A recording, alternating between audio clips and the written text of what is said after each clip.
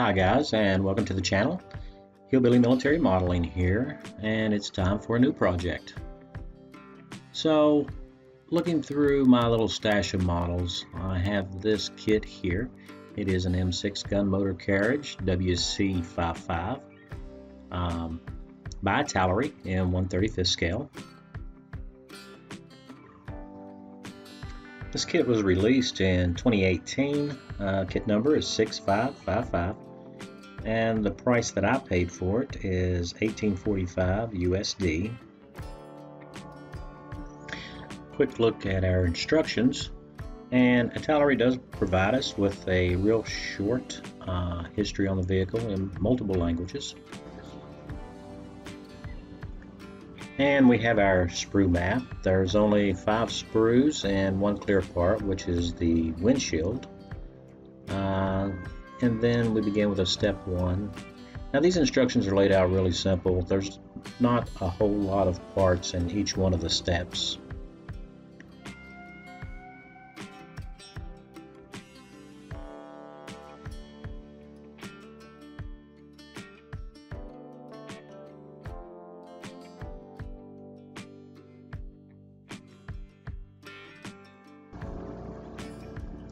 This kit being a relatively low parts count, uh, I didn't count the parts, but uh, um, there's not a whole lot here, so should go together pretty quick.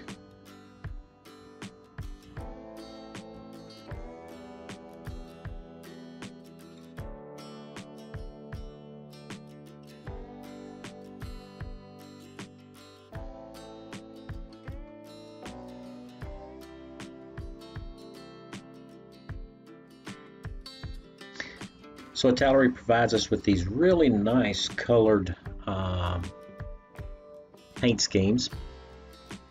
There's only two real colors. You've got the Tunisia camo and then everything else is just basically green.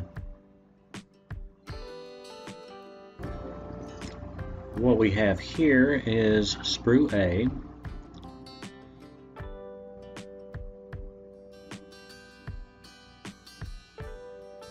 So it contains our axles, front and rear axle. We got some bolt detail, a little bit of cleanup, front fenders, our bumpers, front springs, radiator detail, some drive shafts. So I'm not seeing a whole lot of misalignments on the molds or anything like that. Um, this being a lesser expensive kit, you can expect to have to do some some serious cleanup a lot of times, but uh, doesn't look too bad. Now these light assemblies, the two headlights and the blackout drive lamp, they have these sinkholes as you can see here, and those will have to be filled, and that's kind of unfortunate. Um, but I have seen that a lot on Italeri kits.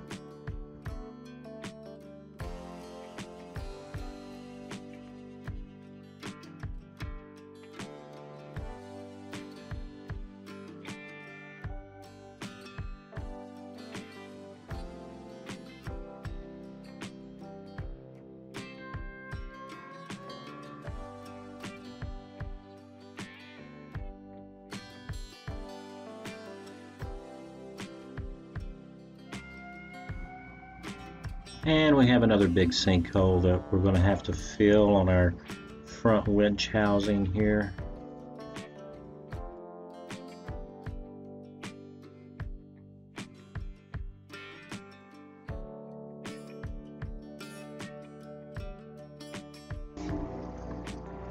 And on to sprue. So we have some body parts here. Uh, the rear body, the gun shield, inner fenders for the rear. Now, I really do not like the looks of these uh, rifles in these scabbards, so I'm not sure what we're going to do about that.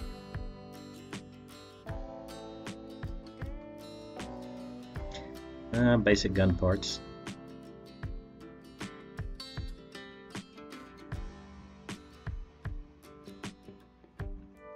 everything's kind of looking like it's pretty much expected.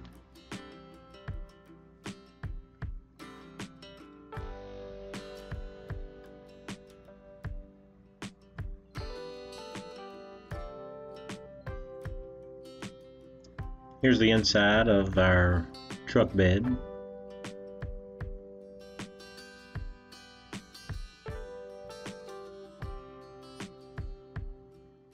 Some rivet detail. So we do have some ejector pin marks. Some of them is not going to matter, but these on the gun shield, we're going to have to address those.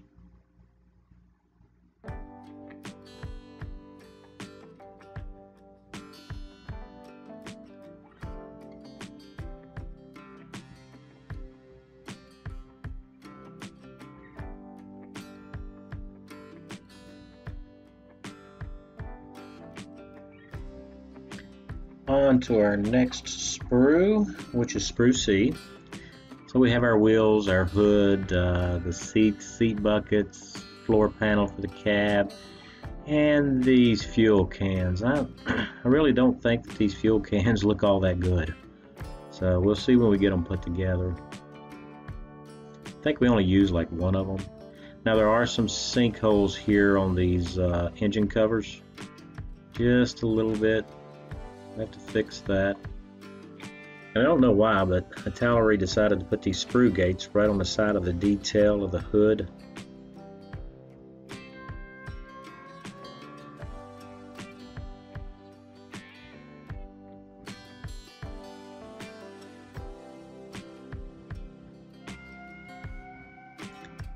Not much detail on our floor pan. But these vehicles in real life were pretty simple, so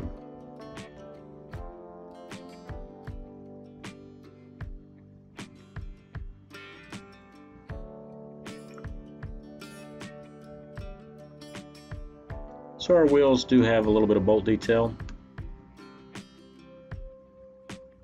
And these are two-piece wheels, so on to our next little piece of sprue here.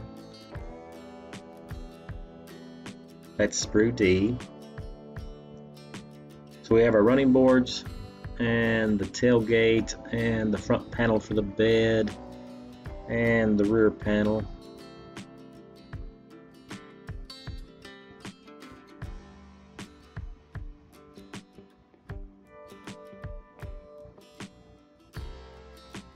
So here is sprue. This is our frame. We have a couple of leaf springs, a drive shaft, and our transfer case.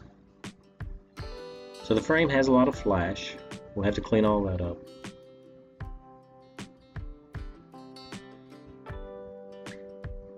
And this transfer case has a nice big sinkhole in it as well.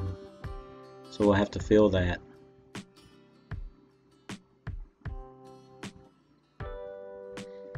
Now Italeri is not real good about making uh, the square edges on parts, so we'll probably have to do some dressing up on this frame. And here's a piece that was loose in the box, so I'm not sure what it goes to yet. And here's our windshield. So the windshield wipers are molded onto this windshield. I would have preferred them to have been separate, but what you get. Here are our decals. And my past experience with Italeri decals is that they tend to be a little bit prone to silvering, so we'll just have to see how these come out for us. And that's what's in the kit, guys. So I can't wait to get started on this one and uh, see what kind of little surprises that it has in store for us. I'm sure that there is at least one or two. I'd like to take this chance to thank all of my subscribers. I really appreciate you guys. And the modeling community uh, is such a great community. And if this is your first time to the channel and you like what you've seen, uh, please uh, go ahead and subscribe and hit the notification bell so you'll be notified when there's new content. And If any of you have any comments or any suggestions, I'd love to hear from you guys. So until the next video, you guys stay safe. Thanks for watching.